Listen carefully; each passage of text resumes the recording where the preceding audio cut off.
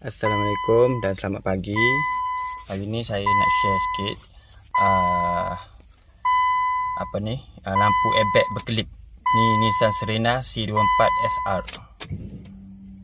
Tengok tu lampu ni, lampu airbag tu. Okey.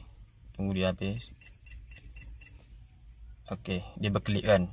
Uh, ni disebabkan uh, saya punya clock spring rosak itu hari dan saya sudah repair. Okey, sekarang saya tunjukkan cara nak uh, reset dia balik. Cara nak reset balik. Uh, kereta lain saya tak tahu. Uh, kereta Nissan Serena 104 ni uh, cara dia macam ni. Okey. Onkan uh, switch ke ini. Onkan switch. Tunggu dia mati. Tunggu dia mati. Okey. Offkan switch. Onkan switch. Tunggu dia mati.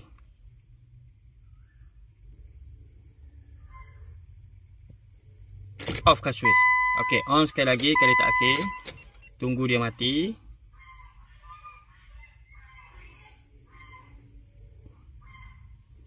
Off kat switch. Okey, kali ni uh, lampu airbag tak akan berkelip.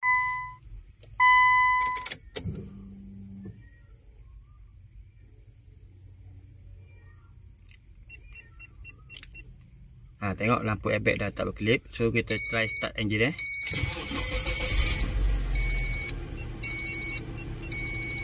Okey. Kita tunggu lebih kurang kejap 20 saat tengok dia detect tak. Sat.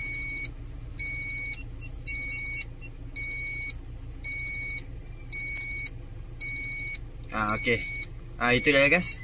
Ah cara-cara nak reset lampu ah airbag uh, mungkin clock spring rosak. Atau kalau boleh berkelip lagi tu mungkin uh, airbag modul dah rosak tu. Okey sekian terima kasih